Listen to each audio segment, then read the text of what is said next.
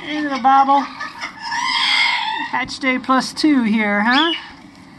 Yeah, look at you. You're already standing up and holding your head up better. Yes, you are. Hi. Yeah. Your parents.